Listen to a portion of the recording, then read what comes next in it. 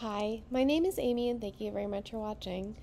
So it is after my bedtime and that is when we are starting today's video. So today will be another day that we don't actually get through an hour of this video, but um, every day we're going to be doing at least some of this because otherwise we will give up and not get through it at all. So um, one hour every day was a little ambitious on my part and I'm behind on everything. So, let's get started. We are at 158.55 and we are about to start with Remix. Security from their own protocols. Rollups derive their security from the base layers. So Arbitrum and Optimism, for example, is going to be just about as secure as Ethereum. There's some fantastic guides in there that go a little bit deeper into rollups, and I've left a link in the description for you. All right, so we just talked about a lot of stuff. So let's do a quick recap before moving on. Ethereum and Bitcoin are. Yeah, we started. I said yesterday, I was like, we should just watch this recap again today because I was super tired yesterday. So there's that. Currently, both proof of work blockchains that follow Nakamoto consensus. However, Ethereum is moving to Ethereum 2, which will be a proof of stake sharded blockchain. Sybil attacks are prevented due to protocols like proof of work and proof of stake. 51% attacks grow increasingly harder with the size of blockchain, so you should run a node. Consensus is the mechanism that allows a blockchain to agree upon what the state of the blockchain is. Sharding and rollups are solutions to scalability issues on layer ones. A layer one is any base blockchain implementation, like Bitcoin or Ethereum. That is misspelled. It's bothering me. Scalability B, I guess. Blockchain scalability problem is that there's not always enough block space for the amount of transactions that want to get in them. This leads to very high gas prices. And again, gas prices are how much it costs to interact with a blockchain. Whew. So that's it for the blockchain basics and the blockchain explainers. With just this information, you now can go off into the world and start working with blockchains and interacting with blockchains with at least some level of knowledge as to what's going on. You should be incredibly proud of yourself for just making it this far. Definitely be sure to give yourself a pat on the back. That was definitely my second night alarm telling me to go to bed. But hey, uh, my cat is going to tell me again and again that it's time for us to go to bed. Um, and a round of applause. Now that we've gotten a lot of the basics and the fundamentals out of the way, let's start jumping into the coding aspect. This is where you're going to learn how to actually build these smart contracts, how to build these trust minimized agreements in these blockchains and in these smart contract platforms. This next section, this Solidity Basics, the Solidity Fundamentals section, will give you all the skills to start actually coding Solidity and understanding how these smart contracts work underneath the hood. So at this point, absolutely give yourself a high five. Maybe say hi in the GitHub discussions. Maybe say hi in the community on Twitter, on Reddit, etc. And be proud of just making it this far. The journey has really only just begun, but you've already learned so much. Let's begin. The- we made it to the first summit. It gets way harder after this, I guarantee it. Next section, and let's jump into the code. Welcome to Remix. Now that we're getting to the coding sections, I need to stress to absolutely use the GitHub repository associated with this course. If you come to the GitHub repo and you scroll down and you click the lesson that we're on, right now we're on lesson two, Welcome to Remix, Simple Storage. If you click on it, it'll give you a ton of timestamps and, and other helpful links associated with this lesson. Additionally, the biggest piece is that all the code will be available right underneath the lesson title. This will Oh, this is dumb. I mean, not dumb. Or a little dumb. So you have a repo that's not code. That's just resources. So we go down to lesson two. And then we have a different repo that is the code that we probably should have had in the first place. So git clone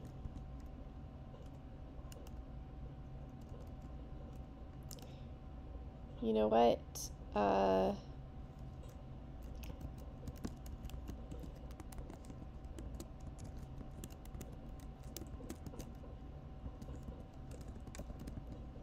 I know how to sell, spell stuff, so...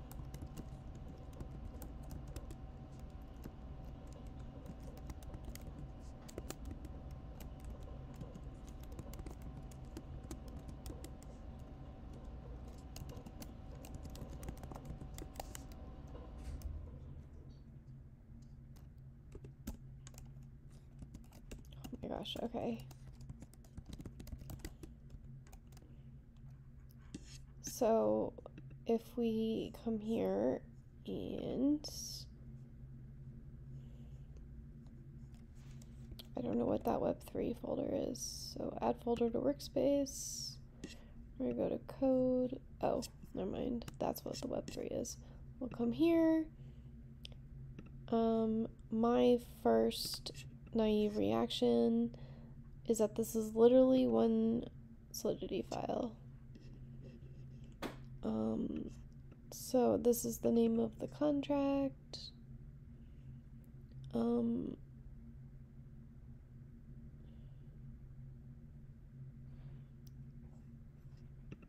oh, in P in not PHP in Perl, the first line would be a shebang, but these are just comments. Um. Apparently I think we need to have between 8.0 and less just less than 9. This they'll probably tell us where to get it. This is me just trying to understand the code without any influence of anybody else. Um, so like people is an array of people. Oh, okay, well, it says that. But this looks like kind of like TypeScript mapping string. Um, this is an unassigned integer, so only only positive numbers, 0 to 255. Name to favorite number. Okay.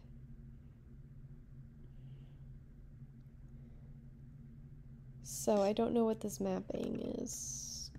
Is there Okay. Mapping is literally anything. Um,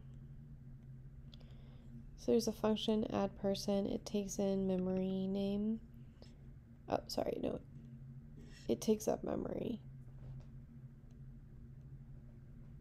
Has a name and the favorite number. And then it pushes the person the favorite. Mm. So, people is an object. People is a new object. So, this is like an object of objects. This is an array. People is an array. We're pushing the people object with the attribute of favorite number and name. And then we are mapping the. okay, that makes sense. Yeah. So that literally is how you call it with a hash with the underscore name. And then we just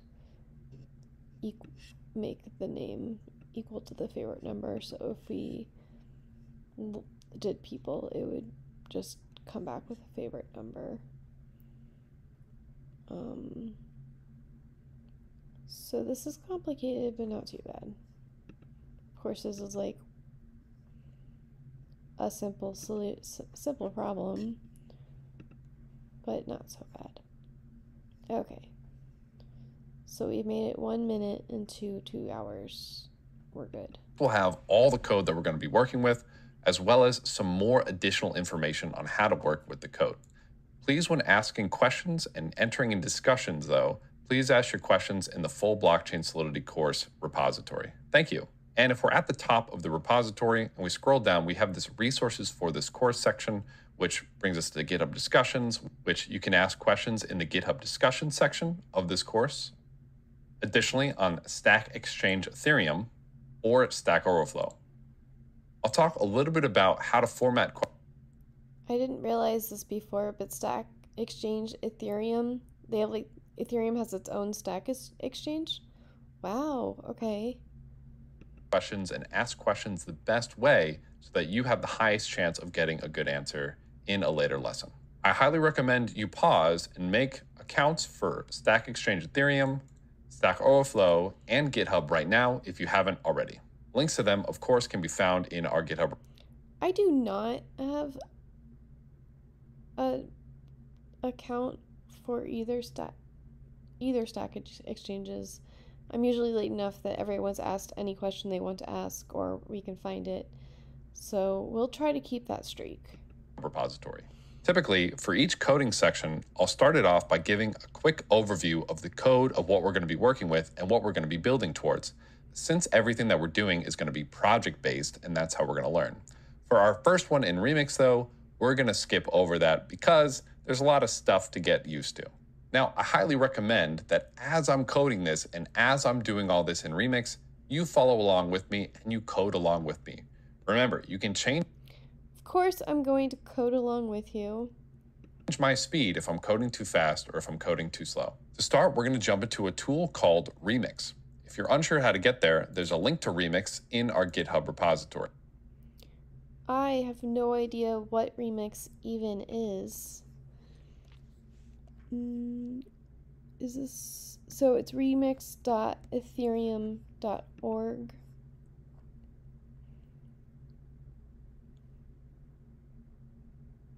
okay i'm seeing the scam alert beware of online video promoting liquidity frontrunner bots um yeah sure so this is going to go down here. I'm assuming this is just the GUI for um, what we're using. Like you basically just drop in the solidity file and it works. Eh? Yeah? Well, this is not what we want. Um, I'm not, I'm not sponsored by Otter but I am using it to uh, do transcription because it makes it much easier when I go to review the next day to make my blog, which I guess we can go to that as well because I did a I did a bad um a bad review today. I'm going to go back and edit it, but yeah, we've done five. This is the fifth day, but um, we started with recap one instead of a day zero. So um, we're going to post today's video tomorrow. Uh, that's just the um, that that's that's the cadence I've chosen, and I started this at we're gonna go through me doing this for one hour a day, but um, today was busy, so I'm going to go until our first commercial break, and then we will have done five minutes of this video today. And um, these courses are like dieting, where like some days are just going to be not what you want uh, yesterday was Memorial Day and a holiday. So, I mean, it is what it is. So, we'll just keep, when we can, do one hour a night. Um, one hour, I think, from now on is just the max. No, no more than one hour a day. Um, so, I've just spent a really long time explaining to you that I don't, like, I do want to be here, but it's getting close to midnight for me, and I would like to uh, wind down so that I can go to bed so that I can go to work tomorrow. This is where we're going to be writing all of our code. So welcome to the Remix IDE, or in Okay, so this is this is an IDE. Why are we okay? Integrated Development Environment. This is where we're going to learn how to code and interact with our smart contracts. If you want, you can go ahead and accept help out Remix. If you've never been here before, it'll give you a quick walkthrough of some of the Why didn't it give me jerk? Why didn't you give me a Did I just miss the pop-up? Is that what's happening? Um Should I sign in? Nope, that is not that. So why are we using an online IDE? Is there not a remix that we can download in the iPhone App Store?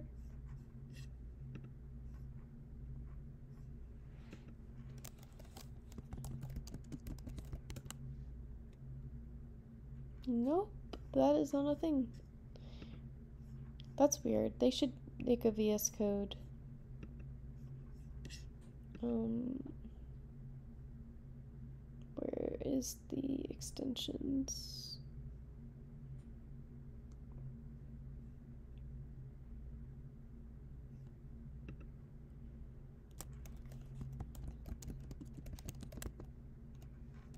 Oh, hey, look.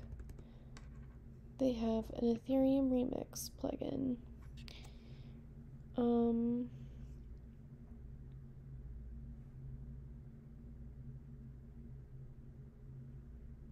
yeah, we should probably just do this instead of being on Ethereum.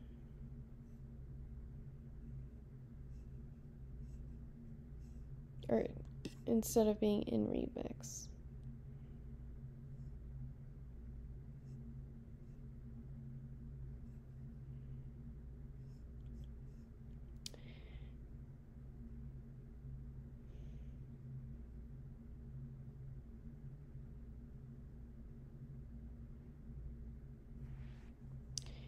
Okay, this is me just not saying anything. So, this is in beta. Um,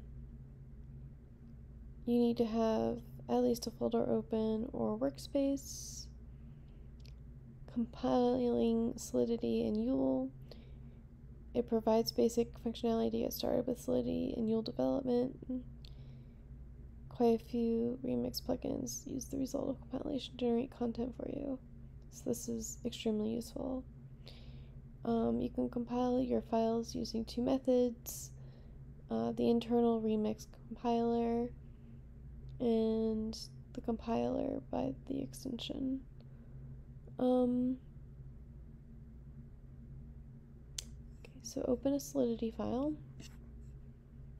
Your mission, should you choose to accept it here and then am I going to miss the the rest of that information because VS Code can be a little trash. Yes, yes I am. Um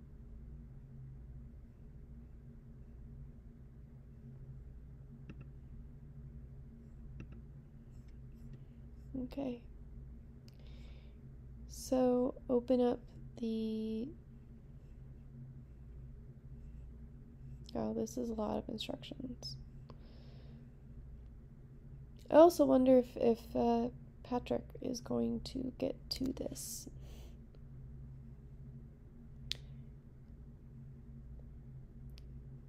So, open a Solidity file in the editor and click on Compile should be able to select a file to compile.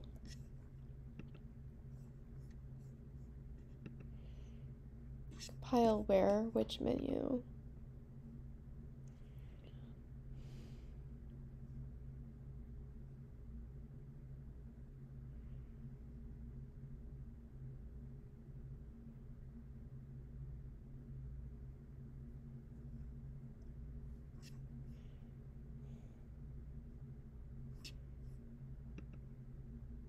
Well, why don't we quit VS Code? Goodbye, VS Code. And do we have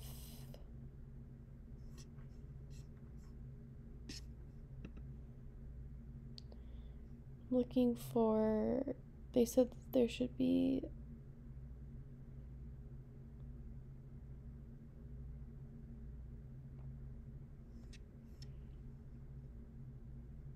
sure but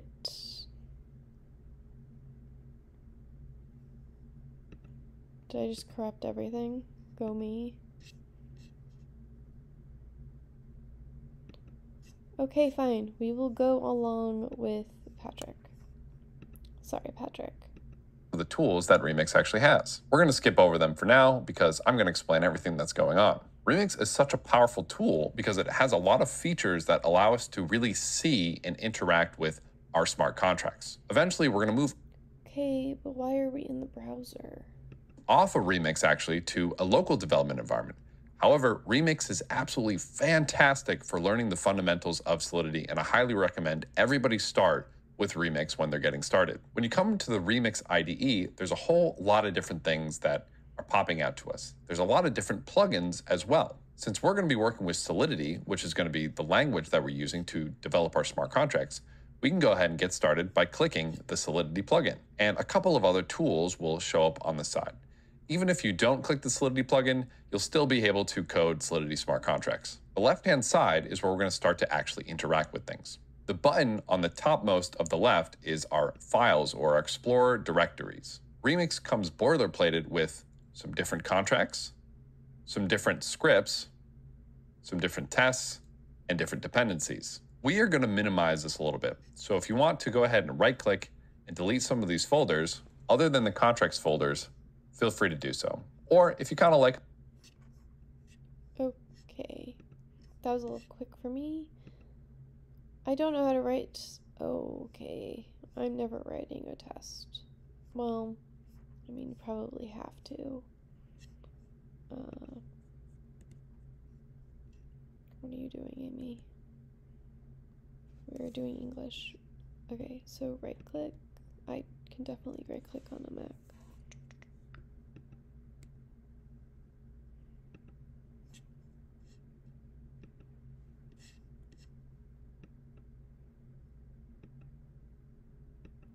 And you're sure? Oh, okay, we need to keep the scripts. We don't need tests. Who needs tests? We'll do tests later. Okay. Come there. Feel free to leave them as well. We're going to. Oh, we don't need scripts. A few scripts. We don't need you.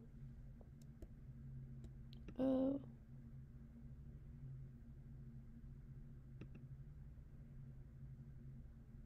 Okay. These seem important. It's okay, we'll remake them by hand. Because developers love doing things by hand. Leave our contracts folder, and we're going to delete the different files inside of it just so that we can start from a blank slate. So why don't we just delete the contracts file folder and create a new contracts folder? That's silly. So silly. We're to delete all of this. Okay, so we have an empty contracts folder. We can delete the README.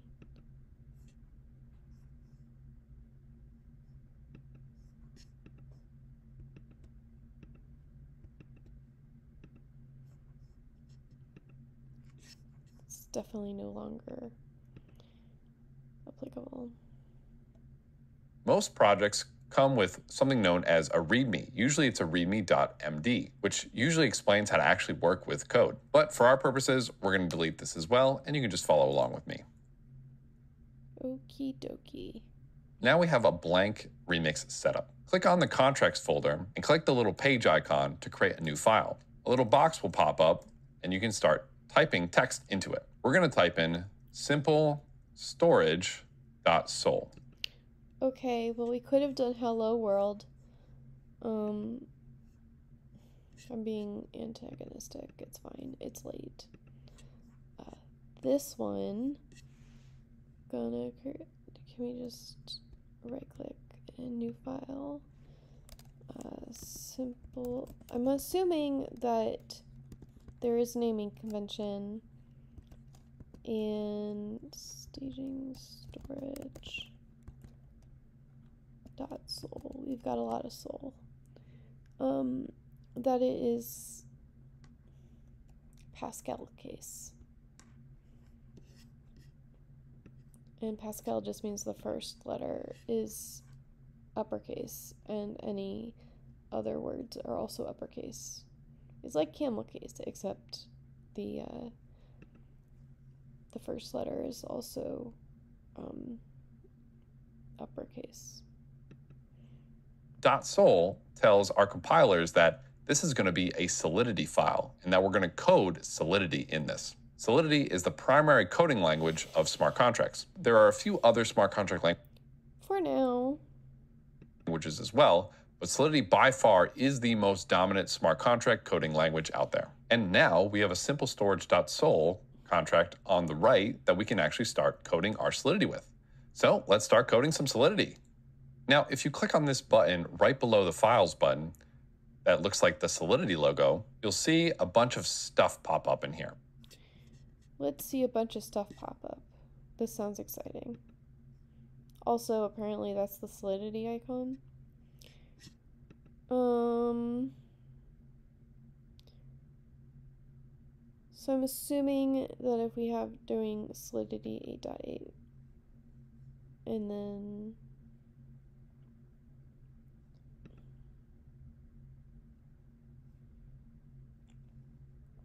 I don't know what these these are. I think this is like something virtual machine. Um, and we can just manually compile. These are different parameters for us to actually compile our Solidity code so that we can run it. So the first thing that you're going to need in any Solidity smart contract is going to be the version of Solidity that you're going to use. And this should always be at the top of your Solidity code. Solidity is a constantly changing language and a constantly updating language because it's relatively new compared to other languages. We need to tell our code, hey, this is the version that I want you to use. We can add the Solidity version by doing pragma, Solidity. I could look up what pragma means, but let's be pragmatic and just do it. P R A G M A solidity. I'm pretty sure it's 8.8.0. This might need to be in double quotes. And then the version that we want to use. If we want to choose a very specific version, we could say 0.8.7. The most current version to date is 0.8.12, but getting used to different versions of Solidity. Okay, just kidding. There's no quotations. Also, I did 8.9, but um, in here, it's 8.8. The newest version is 8.12, so we'll just do 8, even though he has it. And then he did a semicolon. Do we need semicolons? Is Solidity dumb like that? Do you have to use semicolons in solidity.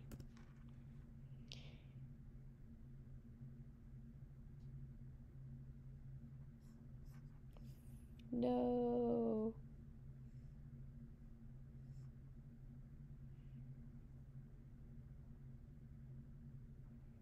Wow, I have tried very hard to get out of doing semicolons. I am a life of no semicolons. Unhappy. Ugh. Really? Solidity? I'm gonna have to start my war against semicolons with the Solidity crowd. Is good practice, and different versions of Solidity are considered more stable than others.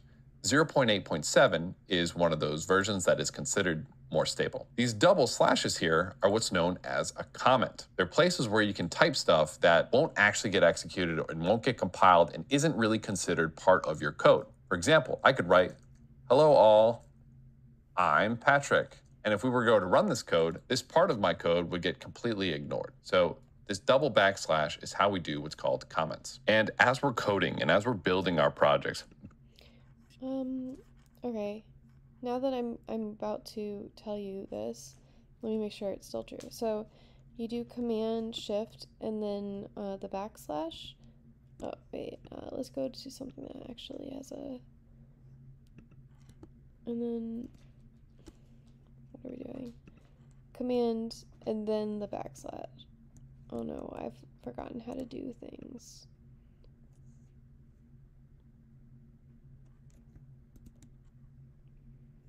Like you don't have to do the back tick, the backslash to do. Oh my gosh. Am I losing my mind about this? Um cuz you can do it mm. There. Okay. I'm not losing my mind. It's just not working on solo files. That's cool. Okay, that makes sense since it doesn't know about the extension in VS Code. But yeah, you use the command key and you use um, it's a, a CMD plus this, and then it'll automatically create um, the comments on the line. And the good thing about this, when it works, is like um, you do it down here and it does a different type of comment. Like it knows the type of comment that you can use in each section. So it's just the easier way of doing this. It's just late, which is why I was like, look at this cool trick. Oh shit, it didn't work. Okay, so can we, yeah. So since Remix knows about how to read a SOL file. If you just use the command in the backslash, it'll do the correct type of comments. Be sure to use this comments tool to your advantage. Every time you write a new function or you learn something that you didn't understand or you learn something new that you want to remember, put it in a comment in your code. You're going to be most comments are free and your code will be unreadable for like 2 seconds after you write it. So there's that. It's effective at taking notes in this course by making them comments in your code and then saving your code so you can refer back to it later. So leave comments in your code, leave notes in your code, and that'll be one of the best ways for you to understand what you're coding when you want to refer back to it later. Now, when it comes to the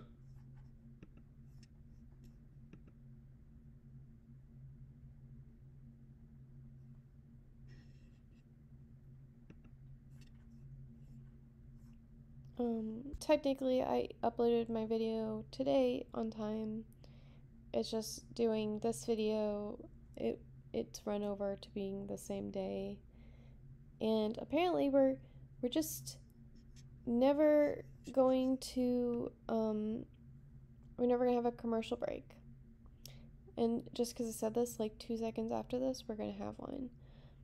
But um yeah, I can only do 30 minutes of otter at a time because I have to, because we're going to use it for this course, I'm going to be purchasing pro so then we can do more than a half an hour at a time. Um, because now that we're in the coding stuff, will be more me and less just listening to Patrick.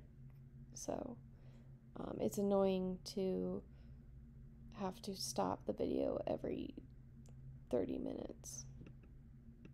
There's actually a few different ways we can actually write it. We can say we want to use only 0.8.7, and this is how we would write that. But maybe we're okay if we use a more new version of Solidity than 0.8.7. To tell our code that we're okay with a more new version, we can put a little caret here. And this is how we tell Solidity, hey, any version of 0.8.7 and above is okay for this contract. This means 0.8.8 would work, 0.8.9, 0.8.10, etc. But if we wanted to use just 0.8.7, we would type it like that. If we want to use solidity versions between a specific range, we could do something like this. We could say we want our solidity version greater than or equal to 0.8.7, but less than 0.9.0. This means that any compiler between 0.8.7 and 0.9.0 would work. This means 0.8.8 would work. Okay, we're actually going to write this out. Um, so, pragma solidity, um, caret is somewhere, yeah, it's above the 6, okay. 8 dot 8 and this means um 8 dot 8 or higher. Um pretty sure you can just use this for um, same And then if you wanted to make it a range, it would be greater than or equal to 8.8 and then just basically like 9.0 and that just uh, makes a range. So that's cool. So you're I've been using this in package.json forever and um, don't like it's one of those things where like you learn the definition once and then you just kind of use it. 0.8.9 would work, 0.8.10 would work, but 0.9.0 would not work because it is not strictly less than 0.9.0. 0.9.1 would also not work. To keep things simple for us, we're going to use 0.8.8. And every line of solidity that's completed, every completed section needs to end with one of these semicolons. This is how you tell solidity. Oh, we can't have these all. We will have the real shebang.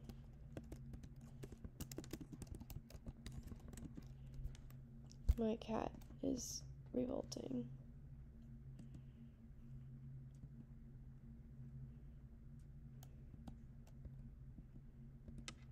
Okay, semicolon. And then we'll do um Wow, we really are just never going to have a it's the end of the line. Also, at the top of your code, you're always going to want to put what's called an SPDX license identifier. This is optional, but some compilers will flag you a warning that you don't have one. This is to make licensing and sharing code a lot easier. We have a link to more about how licenses work in the section of this lesson in our GitHub repository. To do an SPDX license identifier, we just say SPDX license identifier, and we're going to choose MIT. Oh my gosh. You couldn't have made this an acronym?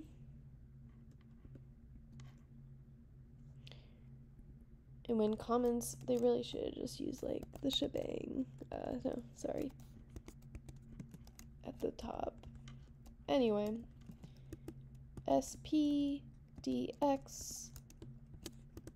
license identifier. Hopefully none of you have spelling issues. Does that need a semicolon? The MIT license is one of the least restrictive. We will go into the lessons and um, look at the licenses, but yeah, MIT is pretty, pretty dope.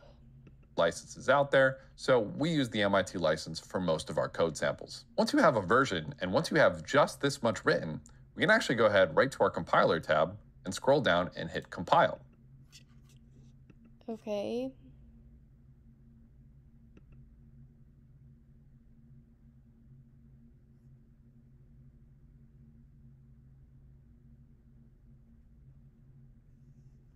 Okay, well maybe if I change this back to 7.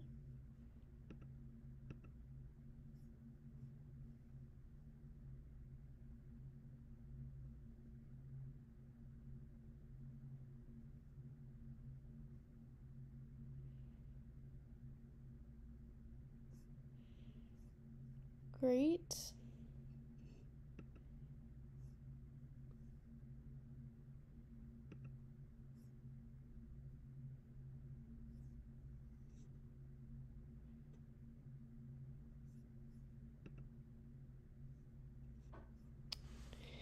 Parse error. Source file requires different compiler version.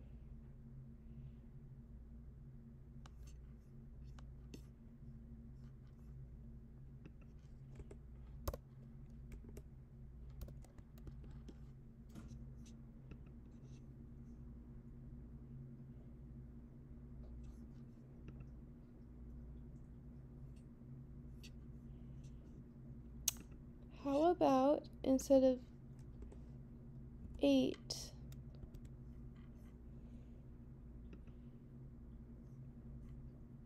Raise your hand if you saw that way before me. Um, I'm assuming the green check mark is a thing. That little turn thing will go, and in a minute, we'll see this contract is attempted to be compiled. Since we actually don't have a contract, we see no contract compiled yet, but we see the compiler automatically switched to 0.8.8. Compiling our code means taking our more human readable code like Pragma Solidity and transforming it into computer code or very specific instructions for the computer to use. We'll go over what a lot of this machine level code or this computer level code is doing in a later section. If you're using a Mac, you can also hit Command S and it'll run the Oh, you know, when I came into mine, it was at 8.7, and his is automatically at 8.8. So I'm pretty sure he had this error and then just like didn't say anything about it because it's um, just second win for to him. I don't always talk about Command S or Control S. Oh, saves and compiles. What if it's not on automatic compile compilation? compiler for you as well. On Windows, it might be Control S. We can actually choose the compiler version that we want to use. However, if we tell in our code to specifically use 0.8.8 and we hit the compile button, it'll automatically switch to 0.8.8. However, if we use the caret thing, we could specifically say, hey, we want 0.8.10. We could hit compile, and it'll compile with 0.8.10. Because again, remember, the caret says we want to use at least 0.8.8 all the way up to the latest version of 0.8. For now, let's stay on 0.8.8. The next thing that we're going to do in our code is define our contract. And to get a full screen view, you can go ahead and hit the compiler button to get rid of it there. To start defining our contract, we're going to go. Okay. Oh, hey, look, we have a full page of this.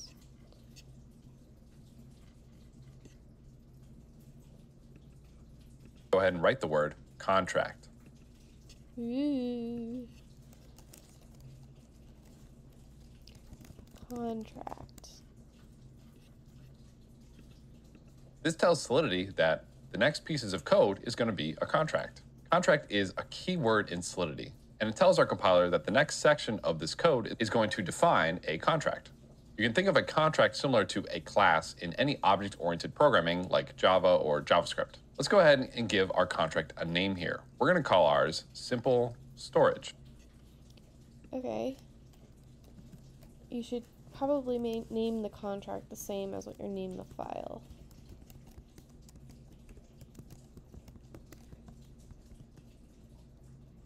I want to use curly braces. And then we add. Oh, sweet. Using curly braces.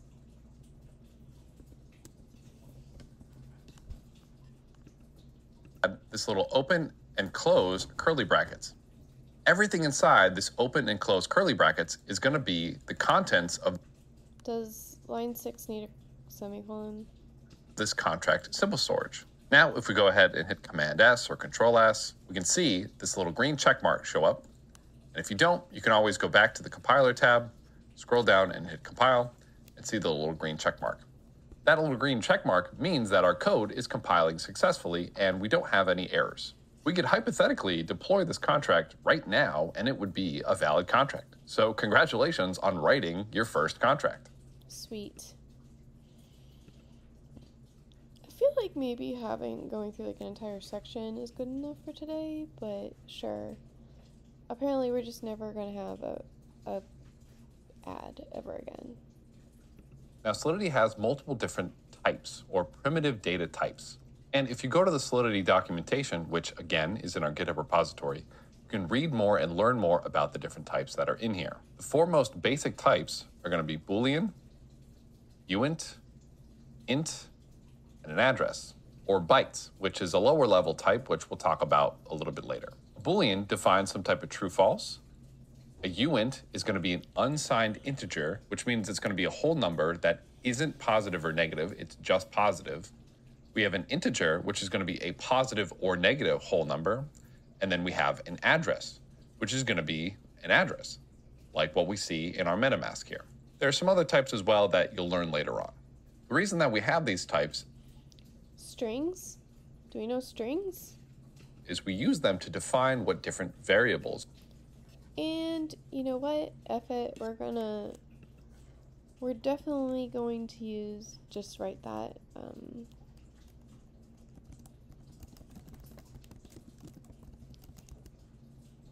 Boolean UI uint int address and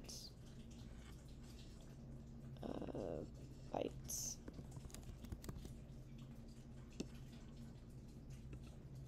are.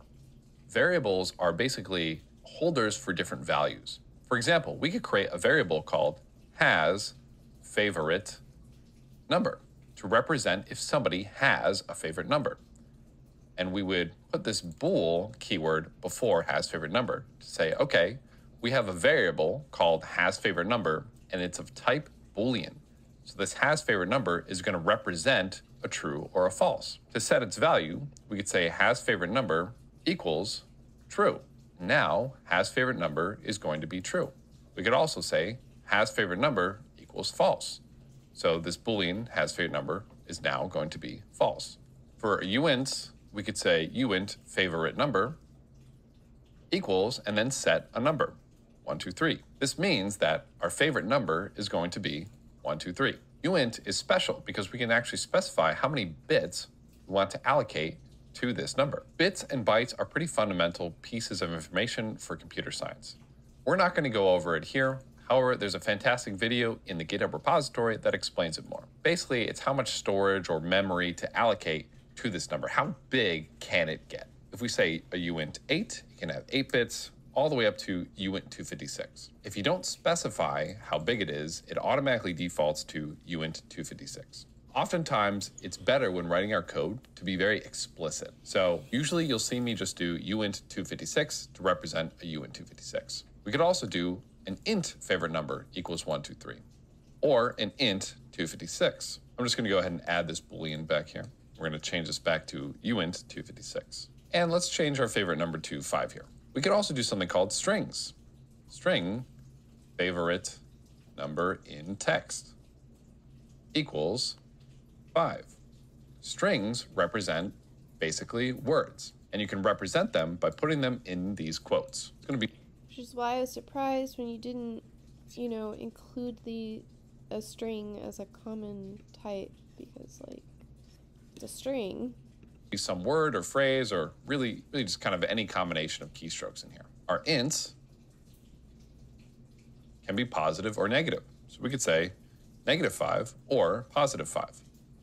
Both are going to be valid ints. We can also do address.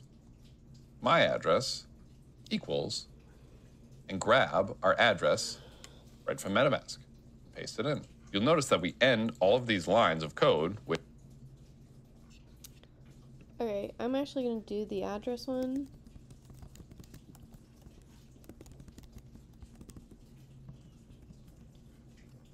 Because, and hear me out, Um, I would have guessed that that would have had to be enclosed in quotes.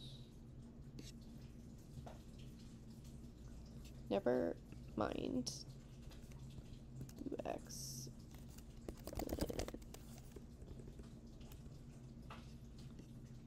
Okay. with the semicolon.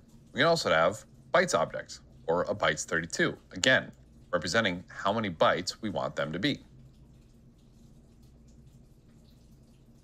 And this says that we have called favorite bytes, and we're just going to set it equal to cat. So strings are actually really interesting because strings are secretly just bytes objects, but only for text. So cat is actually a string, but can automatically get converted into one of these bytes object. Bytes objects typically look like 0x and then some random letters and numbers that represent the bytes object. But cat can automatically get converted down to bytes. We'll talk about bytes more in coming sessions. You could also do bytes 2, bytes 3, bytes 5, bytes 22.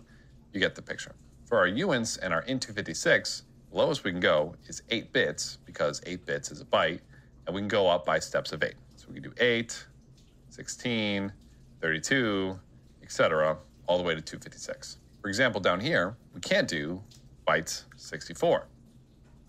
And if we go ahead and try to compile this, we get a little red thing here. And if we scroll down, we get a declaration error, identifier not found or not unique, byte 64, favorite bytes equals cats.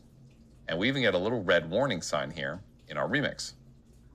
This is remix telling us there's something wrong with this line. So we can switch back to byte 32 since bytes 32 is the maximum size that a bytes can be. You could also do just a bytes object, which means it can have any size. But we typically want to be explicit and we're going to stick with bytes 32 Because it is a smart contract, um, and you want it to be the smallest amount possible. for now. You want to learn more about the different types and how to use them and all the different features with them, be sure to check out the Solidity documentation. For now, for our simple storage, let's say we only want to store numbers. So let's go ahead and delete everything except for the favorite number section. I'm not actually following along because this is really simple stuff. Um,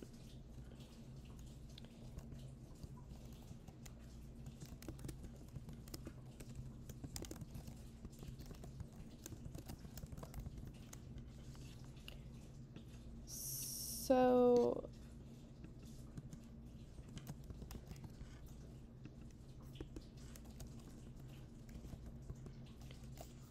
Two fifty six. It's interesting. Uh, sorry. Two fifty six. And these are camel case. Um,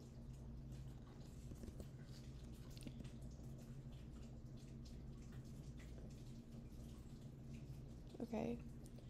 I was saying something, but I lost my train of thought. So there is that.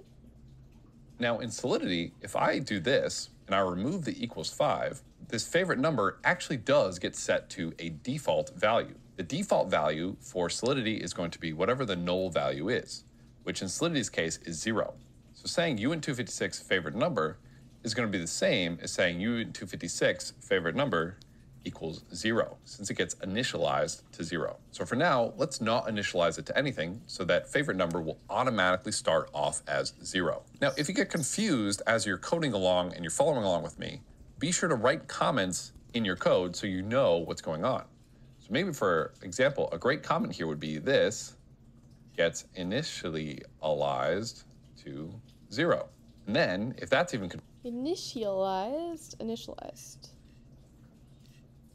Um.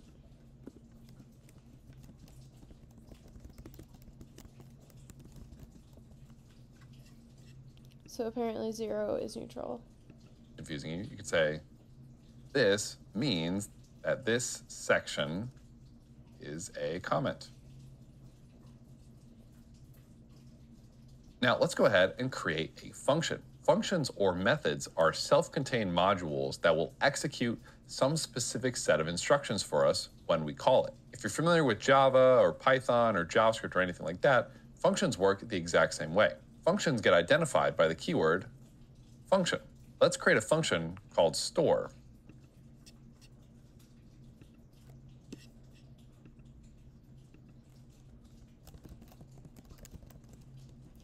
Store what?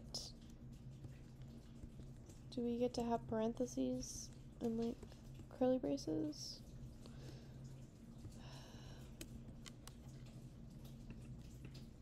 That will change the value of favorite number to some new value. And the number that we're going to change it to Are we allowed to have a space here, like make it readable? It's going to be variables that are passed to our store function. A good way to find that out is if we just save. Oh no, what's wrong? Is it like, I'm sorry, you wanted to have readable code?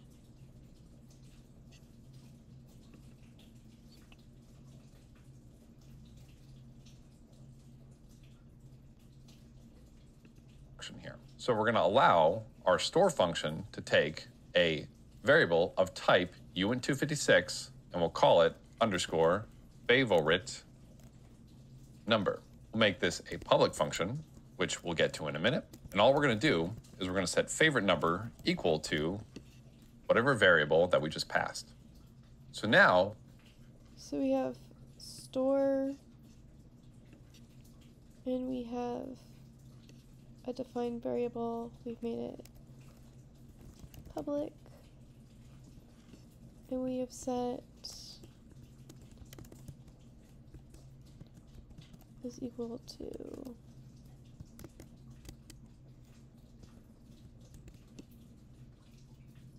Okay, so you're not allowed to have an empty function, I'm assuming. Or I just didn't do the private public. Uh, usually, like, with object oriented programming, which is bullshit, um, there's reasons why people get paid thousands of dollars to, to do Solidity contracts. But yeah, public, everything should be private unless it needs to be public. Um, nothing should be anything's business. If it's private, like a third party thing can't call into it. we have this function called store that it takes some parameter that we're going to give it and it sets this favorite number variable equal to whatever number that we give this function. Now, to see this actually in action, let's deploy this to an even faker blockchain than a testnet. We're going to actually deploy this to a local network or a JavaScript VM. And first, before we can even do that, let's just make sure that it's compiling correctly. Looks like we have a green check mark. Okay, let's manually compile this shit stuff. Okay. I don't know what. Okay, it's fine. which is good. And we'll come down to this button here, which is our deploy and run transaction.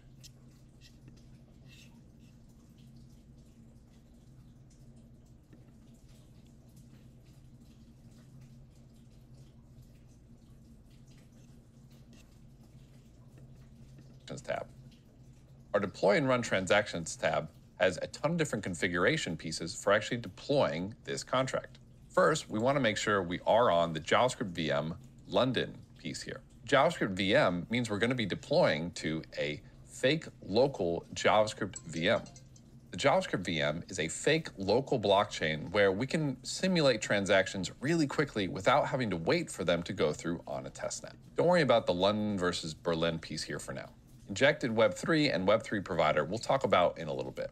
We also have this account section here. When we run on our fake JavaScript VM, we're given a whole bunch of fake accounts from where to deploy from, and we're given 100 ETH for each one of these fake accounts. You can kind of think of it similar to our MetaMask account in MetaMask, except for the difference here is that this is this fake JavaScript VM Ethereum that we're given. For our transactions, including deploying contracts, we're actually given a gas limit. There's also values we can send, and we can choose our contracts. Right now, we only have one contract, Simple Storage, so that's going to be the one that we're going to deploy. So on the left-hand side, to deploy this to our fake JavaScript VM, we're going to go ahead and hit the deploy button. And if we scroll all the way down to the bottom now, we can see a contract was deployed. It says Simple Storage at X blah, blah, blah, blah, blah. And we see this orange button, store with kind of this grade text uint256 underscore favorite number. On our fake local blockchain, right? Okay, so deployed contracts. Uh, this one.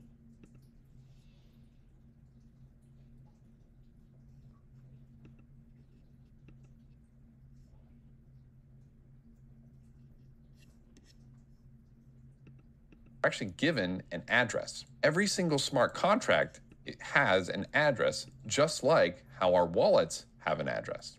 So if we hit this copy button here and we put it into a comment, make this a little bit bigger, we can see that the address of this contract that we just deployed is located at this address. Additionally, if you pull up the slider over here, you'll be able to see this little green check mark with all this information about this deployment. You can hit the little drop down and see a whole lot more information about this. Something you might notice is you'll see some familiar keywords like status, transaction hash, from, to, gas, etc. When we deploy a contract, it's actually the same as sending a transaction. Remember, anytime we do anything on the blockchain, we modify any value, we are sending a transaction. So deploying a contract is modifying the blockchain to have this contract. It's modifying the state of the blockchain. And if we had sent this on a Rinkeby or a Kovan or a mainnet network, we would have had to spend the gas to actually deploy this contract. And this is the simulation of how much gas and the transaction hash and from and to and all this other stuff about our transaction had we actually deployed it to a real network. But since it's JavaScript VM, it's all fake information. Now we have this big orange button store. This big orange button resembles the store function that we just created. So if we add some number into this store like one, two, three, and we hit the store button, we actually call this store button and we actually execute a transaction on our fake JavaScript blockchain to store the number one, two, three for favorite number. And if we scroll all the way up to our account now, you'll see that we have a little bit less ether in our fake account. This is Okay, we're in the middle of the explanation at 2 hours, 23 minutes, 32 seconds, but I need to go to bed. So this was a good this is a good place to stop for me. I don't know how it was for you, but um yeah, congratulations. We got through our first smart contract together. Um, tomorrow we will probably backtrack a little bit and get the rest of this explanation when I am not being um, antsy about time and, you know, sleep and stuff. So, um, thank you very much for hanging out with me after hours. And um, hopefully, this was informative for you. Thank you. Like, subscribe. Bye.